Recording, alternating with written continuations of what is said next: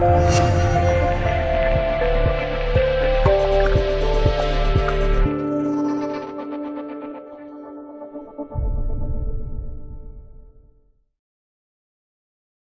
根廷空军日前宣布，由于财政困难，将放弃从中国和巴基斯坦购买 JF 幺七枭龙战斗机的计划，转而向美国购买十二到十四架二手 F 五一战斗机。这款战斗机是美国一九七三年服役的老旧飞机，早在二十多年前就已经退出现役堆放在库房之中。由此可见，阿根廷空军的窘境。虽然没有购买中国的战斗机。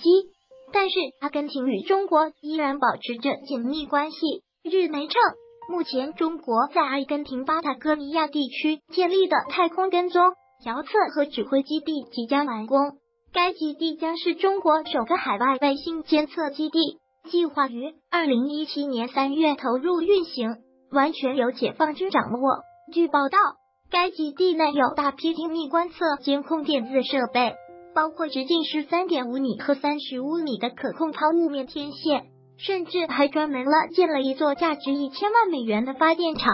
基地的天线和遥测设施具有双重用途，其中天线具备干扰通信、电子网络、电磁系统的能力，可接收导弹发射及无人机和战略武器等信息，能在潜在军事竞争中收集庞大密感情报。由于该基地位置和美国东海岸位于同一纵向区域，和美国制导同步卫星的距离接近，这种地理上的便捷将有利于执行非民用的情报搜集任务。空间通信专家在检查卫星图像后证实，巴塔哥尼亚的两个天线除了用于深空探测和遥测外，还可以用于监测地球同步卫星。这两个抛物面天线可以通过干涉技术来叠加操作。以更精确的搜索到卫星及其信号。前阿根廷武器贸易条约代表莫里凯表示，